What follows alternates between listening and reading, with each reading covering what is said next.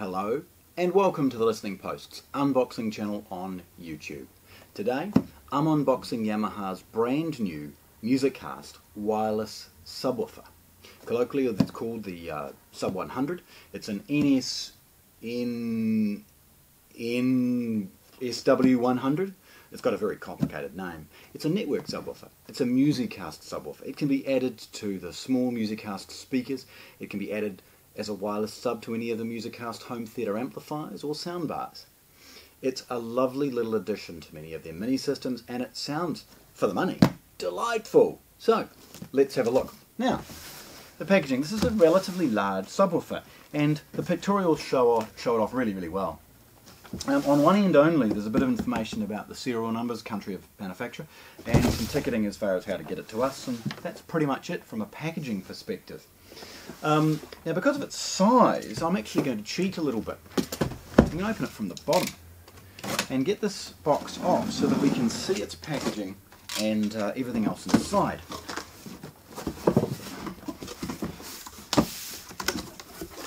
So opening it's going to be very, very straight. Zip it up, slide this beautiful colourful box off, which just keeps some of the polystyrene and other things like that. We can, get, we can jump into the product. Now on the top of course are some of the accessories. So let's just grab, grab those out. Before discarding the box. Okay, grab those. So, um, within the top is some basic information about uh, our packaging process and a basic manual and warranty card. So really don't fuss too much about it. Drill into the product and you're going to have a lot more fun. Right, taking it out. Again, a couple more pieces of polystyrene. Get rid of those. And uh, Yamaha's classic sort of bubble paper to protect the product. Taking this bubble paper off is really, really straightforward. Pretty much just follow around the tight parts, nick the sellotape, um, and it will fall away really, really easily. Revealing the product inside. It's a gloss finish, so as I lift that up, get rid of this, we get to have a look. Now, here we go. So this little subwoofer, it's a powered sub, it's a 120 watts, something, don't quote me on that. If we need the specs, everybody will Google them anyway. Um, it's got a curved design, and it's designed to be not very, uh, not very fat. So they thought of added a little bit of, of height, perhaps, so that it will sneak neatly into most people's living rooms or behind people's, beside people's cabinets. Rocking it forward, you see a, a rudimentary uh, acoustically transparent grille. Certainly doesn't appear to be removable, and Yamaha's logo. It's a little bit deeper, perhaps, than its footprint. And at the top, we've got the basic control. Now, it's essentially just the volume control. There's no other uh, setup required because you're going to use the MusicCast app to determine what this is doing and what it's going to be set up with. Spinning it around, we have a look at the back. Now this, of course, because it's a network subwoofer, has some funny little inputs that you wouldn't expect from a traditional sub. Now removing just for a moment, so we can pull this away, the power cord. It's a New Zealand model, so it's a fixed power cord.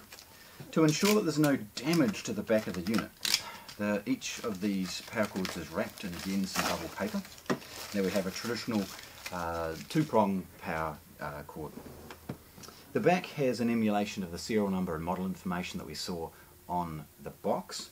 Again, it's a um, NS NW100. Okay, so above that is the heatsink information and some simple enough control. Now this first switch is the, is the main power switch. Now it's a toggle, it's powering it from uh, off to uh, on, or standby I guess. There's a connection button. Now pushing and holding that puts it into the, the sort of uh, detection mode for the MusicCast app. So again, if you're using this, the first thing you need to do is download the app, MusicCast, one word, um, and it'll talk you through the setup process. Adding another product is really easy. Set up, add a product, follow the instructions, make sure it's powered up, push and hold this. Um, the next thing is about whether or not you're going to be using uh, wireless or wired network connection. So the switch is um, auto for wired and wireless selection, or off to reduce the network traffic. Now, golden rule, if you can run a network cable to something, do so. Uh, it will remove the chatter and other wireless noise off your network, and everything that is wireless will then perform much better.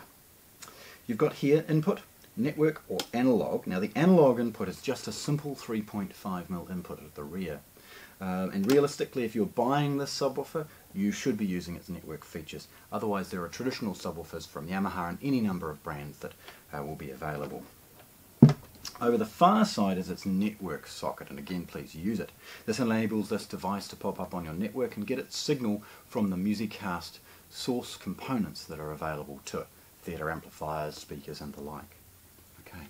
So this lovely little subwoofer, it sounds great. I mean, for the money, it's it's astonishing and so easy to place because it is genuinely wireless. Um, this this is it's lovely to see Yamaha have produced something so well, uh, well thought out, uh, uh, reliable and easy to set up within Yamaha's unique MusicCast domain. So there we have it, Yamaha's new Sub 100 MusicCast subwoofer, unboxed here at the Listening Post, Christchurch. Thanks for watching. If you want to see more, subscribe to our channel.